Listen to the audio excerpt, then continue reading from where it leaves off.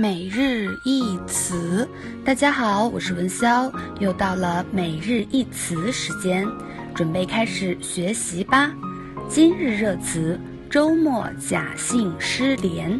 周末假性失联指到了周末需要工作与生活的边界感，收到工作消息后会根据内容和时间决定是否回复以及回复时间。